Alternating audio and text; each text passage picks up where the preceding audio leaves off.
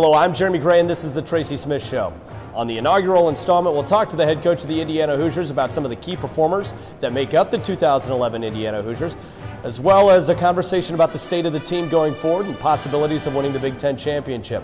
And we'll wrap up the program with a little look at the Indiana baseball intramural flag football team. But first, a Q&A with the head coach.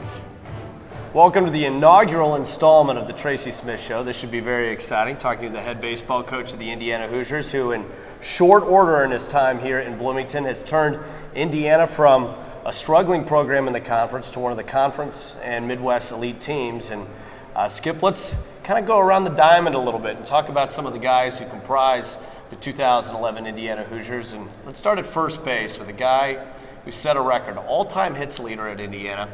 Jerrud Sabourin, and he's kind of the Gene Hackman of IU baseball. He's always the supporting actor. Phegley was there early.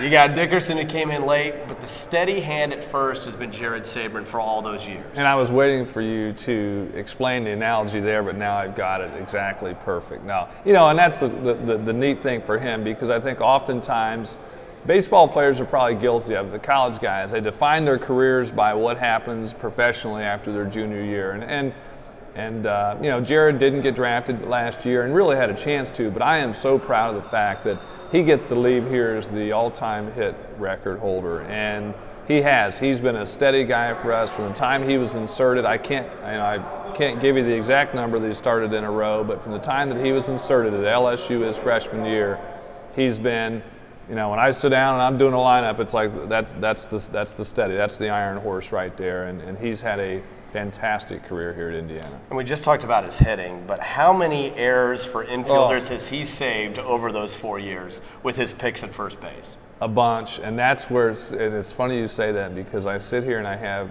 nightmares about what are we going to do next year when we and you're right it's not even about the hitting what are we going to do next year when we don't have Sabourin over there scooping out ball after ball nothing against the guys throwing it from the left side of the diamond but they would say the same thing he, is, he has saved a lot of runs for us Moving over to second base, a dynamic performer who had a great weekend against Northwestern. Phenomenal first two years of his career. A freshman All American. A guy kind of has the swag. Mr. Swag. Mr. Swag. Micah Johnson.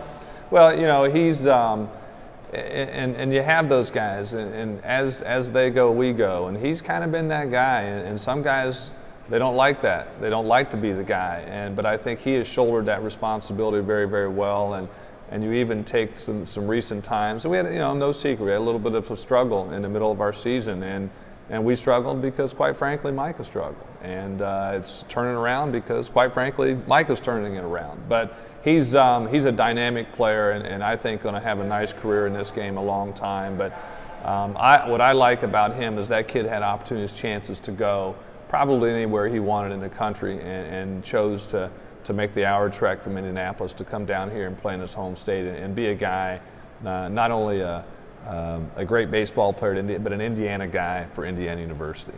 Then you got Michael Basil at short, and he came in and played right away. He's just a sophomore, and despite a profound change in the equipment, he's hit very well in his sophomore year with power. Yeah, it is, he's strong. He's not your prototype, uh, prototypical body that you would see at short. I mean, he's, he's a very strong kid. I don't mean that in a negative way, but uh, he's adapted to the new bats very, very well uh, from an offensive standpoint because of the strength.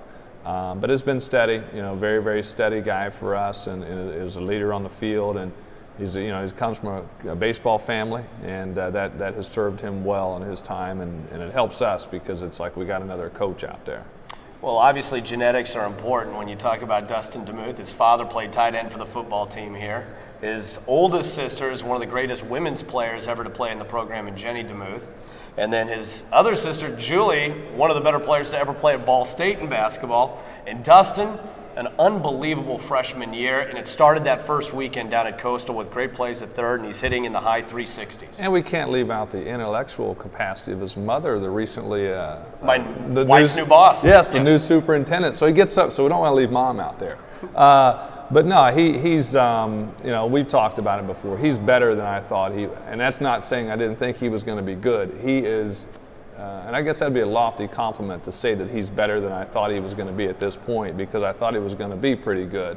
um, it's going to be exciting and fun to watch that kid over the next two years and the type of player that he's going to become in this program, and I think even on a national scene. He's got a decent arm at third too, huh? He, you know, and you know what? Every every time I say this, he has the best arm I've ever coached. I get flooded with emails of former players that are like, "What do you mean?" Uh, but uh, sorry, fellas, he does have the best arm I've ever coached. yeah, he does. Well, let's go to the outfield and a guy who has filled uh, kind of a unique role in his senior year, and he kind of bided his time is TC Nip. And there might be more spectacular players in your lineup, but I don't know if anyone's made more big plays in important situations for your team this year than TC. Yeah, and when you talk about a feel-good story, uh, it is a feel-good story because he's he's everything you would want your players to emulate. And I'm talking young players in your program to see a guy who's paid his dues, who comes to practice every single day, who balances every everything that college can throw at them, and then to, to finally get that reward your senior year and not just be a charity reward. I mean, it, it, he has earned everything he's gotten. And you're right. He, I can't give you the exact number of assists from the outfield, but that kid has had more big throws and cut downs at the plate than anybody I can remember. And uh, so I'm happy for him, and and uh, he's provided us exactly what we needed, which is that, that that solid leadership, but also probably more importantly from a coaching standpoint, something that I can say to the younger guys, hey, look at that guy, you know, look at what he's done, and look at how hard he's worked, and it doesn't come to you immediately. And um, so for that, I, am so thankful to have him and, and, have had him for the past four years. Another Indianapolis kid who's played a lot in the outfield this year and had one of the best catches I've ever seen at Sembower Field. Justin Cureton, a guy who can do a lot. He can fly on the base pass. Very good hitter, especially against lefties, and covers foul pole to foul pole in the outfield.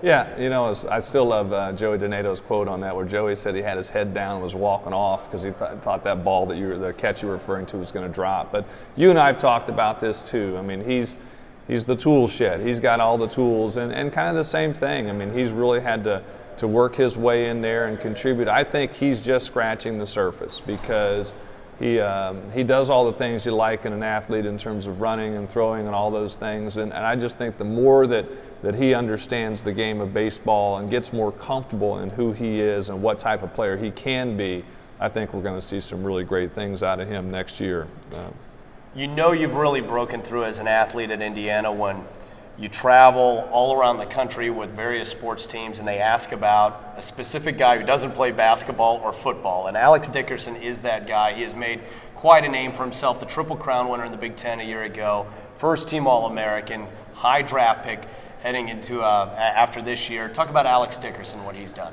Well, I mean, you know, what do you say? Um, you know, we've had some, well, you know, some very, very good players in our program before and first round draft picks. And but it's funny because with Alex, it's, it's, it's almost like he's a victim of his own circumstances. That some people would say he's having an off year this year, and I think he's hitting 360 something and a bunch of home runs and then running for the Triple Crown again.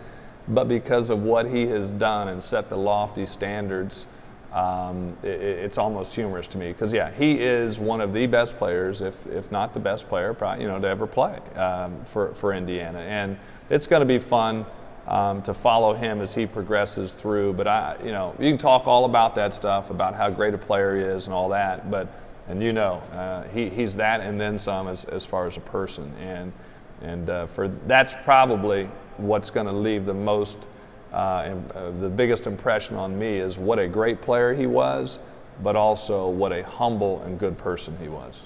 Seemingly every year you have one guy who radically exceeds expectations and helps you out in a way that perhaps you didn't expect. I think there was the year that Chris Hervey hit 370. Um, Although Hervey would tell you. Yeah, yeah, yeah. He, he, was expecting to yeah, exactly. He was absolutely yeah, expecting exactly. to do that. Uh, last year it was Michael Earley and maybe a combination of him and Ethan Wilson down the stretch. This year that guy has been Wes Wilson behind home plate who's done a great job at catcher and in right field and he's provided that righty power that you need. Yeah, it's been fun because I think once he kind of settled in and, and – you know, and, and Wes will be the, would be the first one to admit it's it's not about you know the arm. All that stuff's been there. It's just been Wes settling in and being comfortable being Wes, and and maybe a little bit through injury. You know, with Ty Downing, and uh, you know we put Wes in there, and he and he settled in nicely. I don't think we would have had the stretch or be where we are this year if we didn't have him settling. It's been fun for me to see because you go back to the TC Nips, the guys that have earned it, he's the same thing. He has not played a lot prior to this year. you know, some would say, well, he should have been. You know, I, I look at it as he is getting what he deserves, which is a fantastic senior year. All right, we'll talk about the Hoosiers on the bump and the state of the team going forward right after this quick timeout on the Tracy Smith Show.